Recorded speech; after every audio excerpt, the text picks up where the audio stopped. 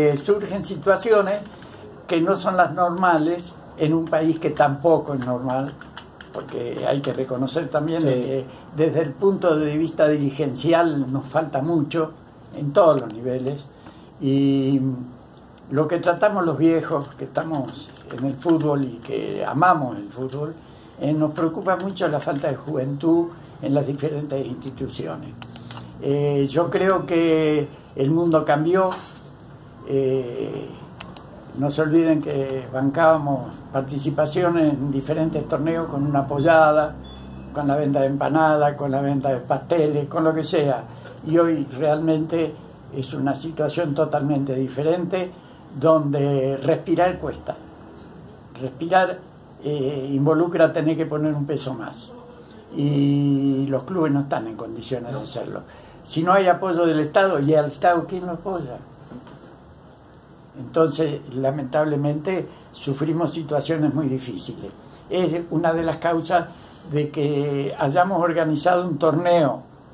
Ustedes recuerdan que queríamos hacer participar a, todos los equipos de la liga en un torneo único para poder completar 20 equipos, para poder lograr la participación de dos equipos más en los torneos superiores. ¿Se acuerdan de eso? Lo, lo tengo presente. ¿Para qué lo hicimos? Pero lo dije al principio, no la, la, culpa no la tienen los equipos que no quieren participar, sino la situación. Por eso que eh, lo digo claramente, no hay que culpar a las autoridades de esos clubes, bajo ningún punto de vista. Son situaciones también que cambiaron en el tiempo y que le impiden a ellos participar de esos torneos. Ante esa eventualidad, la liga busca, eh, a través de decisiones que tendrían que cambiar desde el punto de vista superior, sea del Consejo Federal, eh, lograr que los que le suceden en la tabla de méritos a estos dos equipos que no pueden participar puedan hacerlo. Ante eso, nosotros le hemos dado plazo a las dos instituciones que están en condiciones de hacerlo, eh, Ferro y Quilmes, y le dimos plazo hasta el viernes para que respondan porque nosotros, para hacer una propuesta ante la federación, para que la federación a su vez lo proponga en el Consejo Federal, tenemos que tener la seguridad de que ellos van a participar. Por lo tanto, le pedimos que hasta el viernes le damos plazo para que nos contesten por escrito si ellos lo harían. Esperemos que sí, hay muchas probabilidades de que así ocurra, todo depende de que tanto uno como el otro consiga un sponsor para poder hacerlo, porque de otra manera es imposible.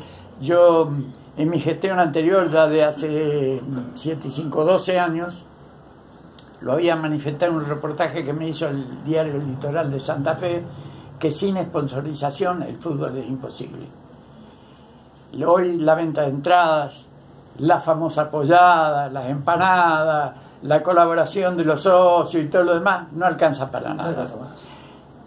No teníamos previsto que pagar la luz, pagar el gas, pagar el agua, no iba a impedir poder a veces a algunas familias comer como corresponde, menos poder financiar una campaña deportiva.